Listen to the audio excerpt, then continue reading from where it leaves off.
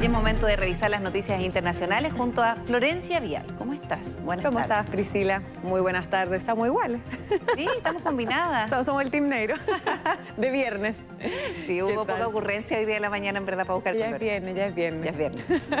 ¿Qué tal? Y muy buenas tardes también a todos ustedes en sus casas. Y comenzamos, eh, Priscila, revisando lo que ocurre a esta hora en Bolivia, luego que el expresidente de ese país, Evo Morales, pongan mucha atención a las siguientes imágenes. Fue recibido con abucheos e incluso Priscila le lanzaron huevos en una visita en la ciudad de Monteagudo. Ante la llegada del exmandatario, como vemos, este grupo de personas intentó impedir el paso de la caravana de Morales en la que también se desplazaba el líder del partido del movimiento al socialismo, que es, recordemos, el partido del gobierno o más conocido como el MAS.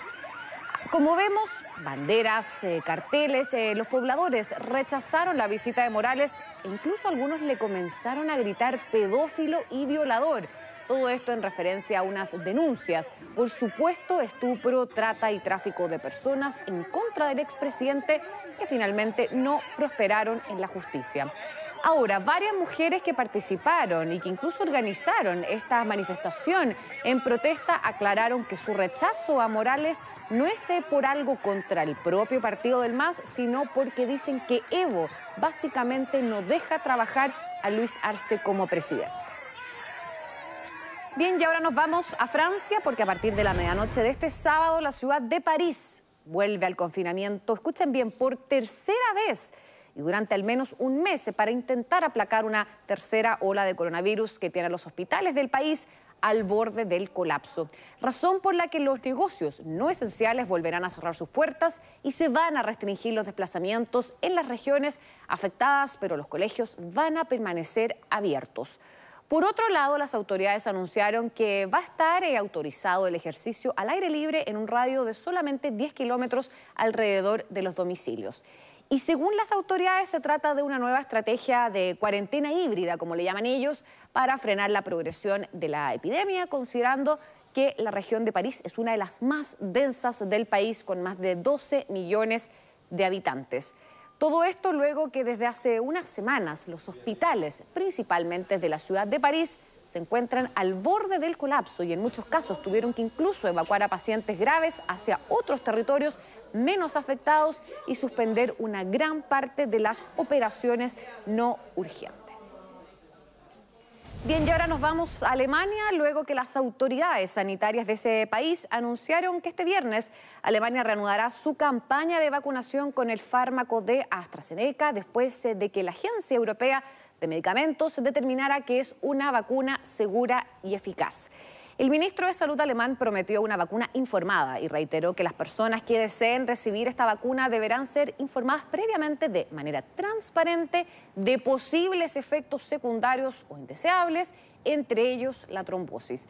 Y acá hay que recordar que la EMA determinó este jueves que la vacuna de AstraZeneca, suspendida en una quincena de países europeos, es segura tras lo que, además de Alemania, España, Francia, Italia, Holanda y también Portugal decidieron reanudar finalmente su administración.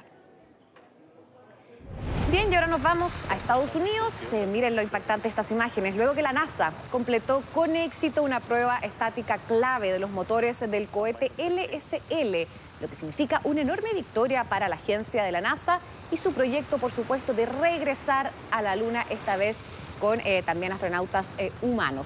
Como vemos, los cuatro motores del cohete, que por cierto cada uno es del tamaño más o menos de un auto, para que se hagan una idea de lo grande que es este proyecto, se encendieron de manera simultánea durante ocho minutos produciendo un máximo de 1,6 millones de libras de empuje. Todo esto considerando que la NASA, yo les mencionaba, tiene este objetivo, ambicioso objetivo, podríamos decir, de llevar nuevamente astronautas estadounidenses a la Luna para el año 2024, pero el tema acá, Priscila, es que el programa SLS lleva cerca de tres años de retraso. Si vamos a la parte más económica, ya ha excedido su presupuesto en casi 3 mil millones de de dólares. O sea, el, presupuesto es mucho mayor. Lo que pasa es que están excedidos en 3 mil millones de dólares. excedidos. Imagínate. el presupuesto ya salto, imagínate cómo les deben estar tirando las orejas. Razón por la que esta prueba era tan relevante y tan importante para la NASA, eh, porque tras el éxito los ingenieros van a poder analizar finalmente estos datos y decidir si el escenario está listo o no para ser restaurado y ser transportado en Barcaza al Centro Espacial Kennedy, esto en el estado de Florida. Qué genial. Bien. Bien, y seguimos con noticias del espacio, Priscila, pero ahora te quiero mostrar algo que yo creo que a ti también Oh, te no te encantaría. puedo creer. Nos habría encantado cuando chica, yo Sí. creo, ¿no?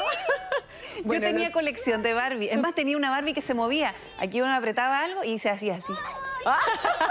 Pucha, yo nunca tuve esa, yo tenía la que era estática, No, ¿no? sé, yo que creo que era la única Barbie que se movía, te juro. Bueno, lo que ustedes están viendo en las imágenes, eh, estamos en Estados Unidos, porque la firma de muñecas Barbie se ha fijado precisamente en quien ven ustedes, en Ana Kikina, para su última creación. A sus 36 años, esta ingeniera rusa es la única cosmonauta en activo en la Agencia Espacial Rusa y por eso Barbie lanzó una muñeca inspirada en esta gran defensora del camino de las mujeres en la carrera espacial. La muñeca estadounidense se inspira en su éxito y está disponible en dos eh, variantes, fíjate, una con un traje del entrenamiento que es este traje azul y otro ya con la escafandra rusa que es muy Claro. típico. Bueno, y es un personaje más de referencia para todos los niños y niñas que se suman a nombres como Naomi Osaka, Cristina Vogel o Amelia Earhart, que también tienen una Barbie inspirada en ellas como mujeres referentes a lo largo de la historia.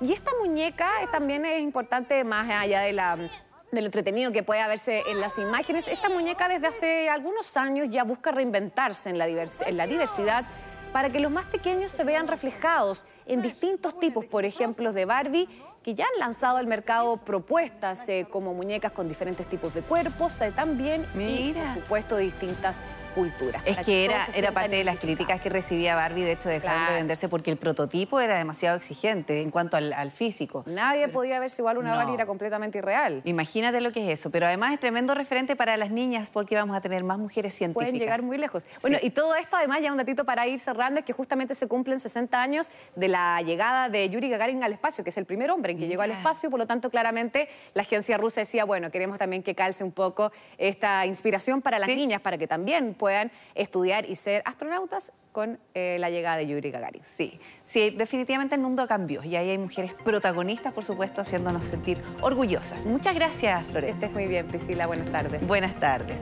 Vamos